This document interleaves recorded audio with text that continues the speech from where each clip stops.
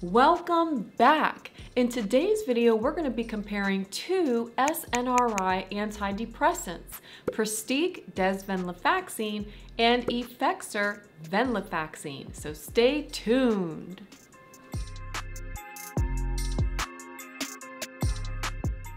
So when you're comparing two antidepressants or two medications, you want to look at several different factors and compare their similarities and their differences.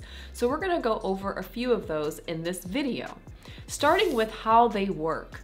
So Effexor or venlafaxine is an SNRI or serotonin norepinephrine reuptake inhibitor. And it actually has more affinity for the serotonin receptors and doesn't really start acting as a norepinephrine reuptake inhibitor until the dosages go above 225 milligrams. Desvenlafaxine is also an SNRI, and it's actually the active metabolite of venlafaxine. It too has more affinity for serotonin receptors, but a lot less than venlafaxine. So Effexor or venlafaxine has an affinity of 30 to 1. 30 serotonin to 1 norepinephrine, where desvenlafaxine or Pristiq, the ratio is 10 to 1. The other thing here is with desvenlafaxine or Pristiq, the norepinephrine action of the medication is seen at the low therapeutic dose of 50 milligrams. Whereas, like I mentioned earlier, with venlafaxine, you actually need to go above 225 milligrams to start experiencing the benefits of the norepinephrine increase. Now, because both of these medications are SNRIs, they're going to increase dopamine in the prefrontal cortex because dopamine has a greater affinity for those norepinephrine transport systems, and there aren't many dopamine transport systems in the prefrontal cortex. The other thing here is that Venlafaxine comes in immediate release formulation and extended release formulation, where desvenlafaxine is just an extended release formulation. Now, I wouldn't recommend using venlafaxine in immediate release formulation because it has such a short half-life that many patients will experience interdosing withdrawal symptoms if they're on the immediate release venlafaxine. And so number two, we wanna look at what are they used for? So venlafaxine or Effexor was the first SNRI that came out and was FDA approved in 1997.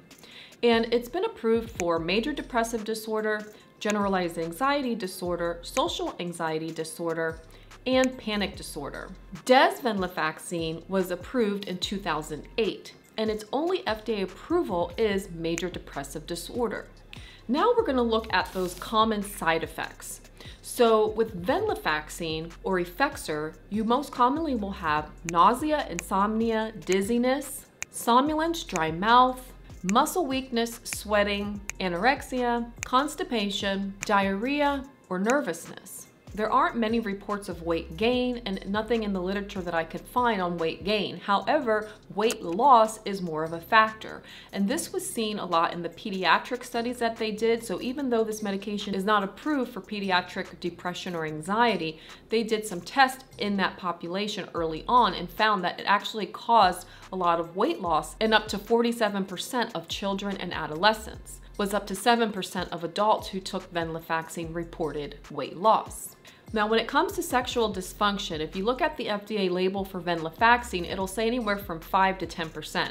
However, in clinical practice, I see that that is actually a lot greater. The primary issue that is seen with venlafaxine when it comes to sexual dysfunction is the delayed ejaculation, and that becomes problematic in a lot of the patients, which is why they'll switch this medication. When you look at desvenlafaxine or Pristiq, the common side effects seen are somnolence or insomnia and hyperhidrosis, which is that profuse sweating. So a lot less side effects than you see with venlafaxine in that regards. And when it comes to weight gain, same thing, not really many reports of weight gain. And they say about 2% of patients will report weight gain, but most report weight loss. When it comes to sexual dysfunction, there is sexual dysfunction reported with desvenlafaxine, but it is actually less than venlafaxine, and some studies have shown that when you compare the two together, desvenlafaxine actually has a lower incidence of sexual dysfunction, and this is reported between 1 to 6%. This is also dose dependent, so the higher you go with desvenlafaxine, the greater the chance of the sexual dysfunction. Now, some considerations here with both of these medications are very similar.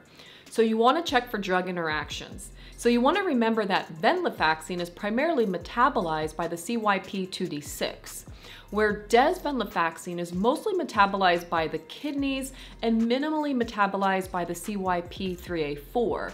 Now, when you get into those higher dosages of Pristiq or, or desvenlafaxine and you're going above 100 milligrams, it can have some inhibition on the CYP2D6.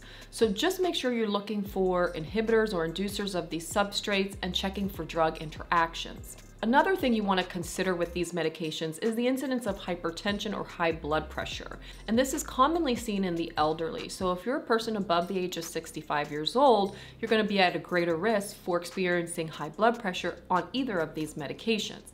This is seen with both desvenlafaxine and venlafaxine, but more with venlafaxine when the dose is above 200 milligrams. And also there's that risk of bleeding that you get with all of the antidepressants. So make sure that if you're taking NSAIDs like ibuprofen or aspirin, or if you're on blood thinners, that you're checking for increased bleeding, bruising, and things of that nature. Of course, there's the suicidal ideation that is the black box warning on all of the antidepressant labels, and this is typically associated with the pediatric population up to young adults up to the age of 24. There's also the risk of serotonin syndrome, and as I discussed in the video on serotonin syndrome, you want to make sure that you're looking at the medications that you're taking and seeing if they can potentially also increase serotonin, and then monitor for those symptoms of serotonin syndrome. And with the SNRIs, that risk tends to be a little more increased than the SSRIs, so be aware of that. So the last consideration that I want you guys to think about with both of these medications, venlafaxine and desvenlafaxine, are the withdrawal symptoms. And both of them are categorized as high risk when it comes to antidepressant withdrawal syndrome. And so therefore, if you're on either of these medications for longer than a month, three months, you're gonna wanna make sure to taper off very, very slowly and do so under the direction of a prescriber who is well versed on how to deprescribe. Some other things to consider are some contraindications. If you have uncontrolled angle closure glaucoma, you shouldn't be taking either of these medications because it can make that condition worse. Also, if you take MAOIs, you definitely do not want to take them concurrently with any antidepressant for that matter, so you want to avoid the monoamine oxidase inhibitors because they also come with the risk of serotonin syndrome and hypertensive crisis. So, last but not least, my final thoughts. And when it comes to Pristiq and desvenlafaxine, though they both have a lot of robust research on the treatment of major depressive disorder and even for generalized anxiety disorder, I do not use these very commonly in my practice, neither of these medications. Why? Because of that risk for withdrawal symptoms. That risk is very high. And what I find is when patients do come to me and they're on either of these medications, it is a lot of work to get them off slowly with minimal withdrawal symptoms. No matter how slow we go, they still tend to have some withdrawal symptoms. And this becomes a huge problem when you have someone who's on either of these medications, they're at the highest dose, it's not working, and you need to switch them to something else it can create problems. And so I try to avoid prescribing either of these medications and only using them as a last resort. So there you have it.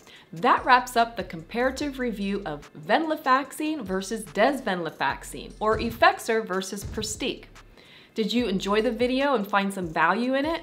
If so, go ahead and like this video and make sure you're subscribed to the channel. And if you have any questions, drop them down in the comment section below. And as always, I thank you for watching. I wish you well on your mental health care journey, and I look forward to seeing you all next week.